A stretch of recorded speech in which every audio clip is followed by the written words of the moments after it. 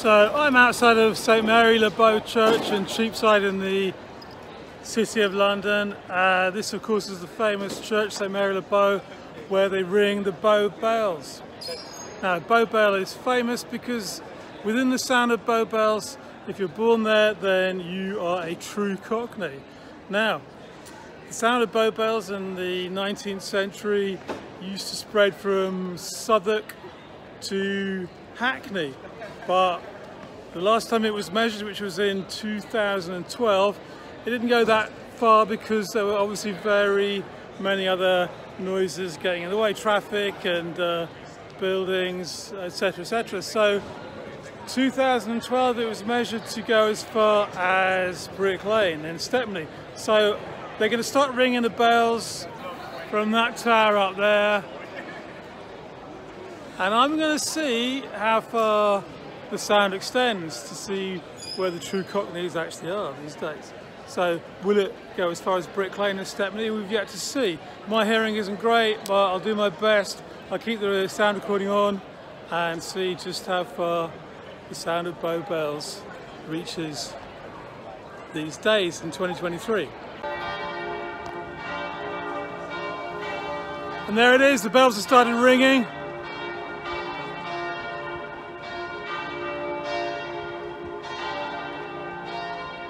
A little bit earlier than scheduled so I'm going to set off down Cheapside to see how far I can hear the famous sound of the Great Bell of Bow.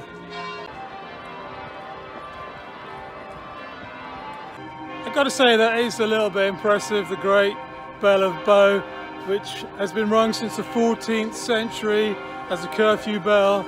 Curfew of course from the French meaning to cut fire at nine o'clock because you know put your fires out nine o'clock because all the buildings are made of wood. Not a good idea to fall asleep with your fire still on. So the curfew bell was rung at nine o'clock every night for centuries.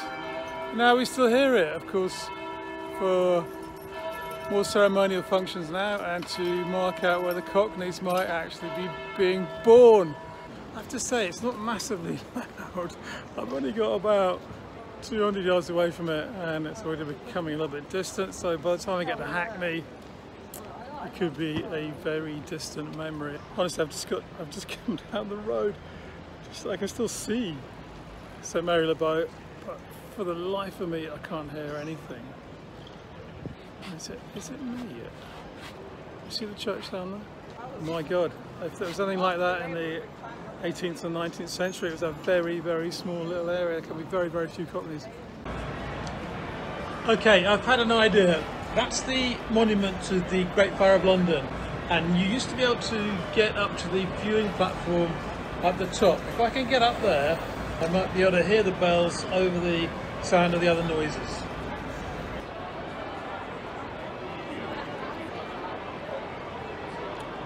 So I'm now at the Monument to the Great Fire of London, uh, 1666, and I have to say that I've all but given up on hearing the sound of bow bells. The sound you can hear there is bells, but it's not the ones we're after. So uh, while we're here, I have to say that um, the 17th century in England was not an uneventful time.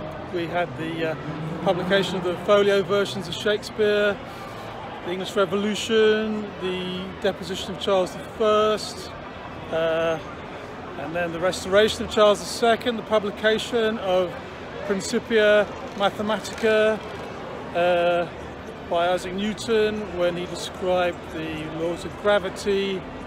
But in London what we've chosen to commemorate of course is the Great Fire when everything burnt down. Uh, so yeah, that's what we did.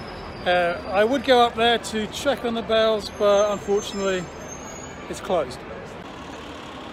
So now I'm Bishopsgate, which uh, is one of the ancient gates which marks the marks the uh, eastern boundary of the City of London. I have to say that it's a bit noisy here. It's not too crazy, but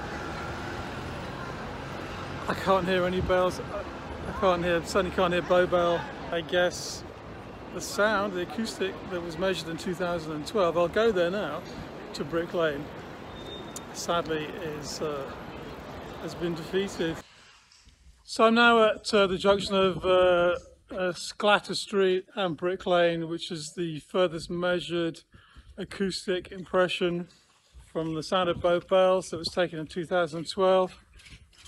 It's not too noisy here at the moment.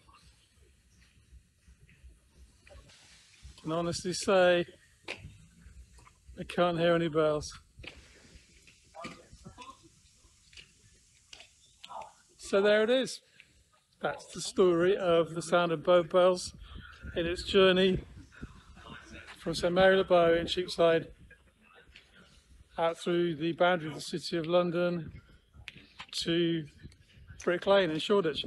So I don't. I mean, they should still be ringing them. They said they would until eight, but I definitely can't hear them. So that's the story.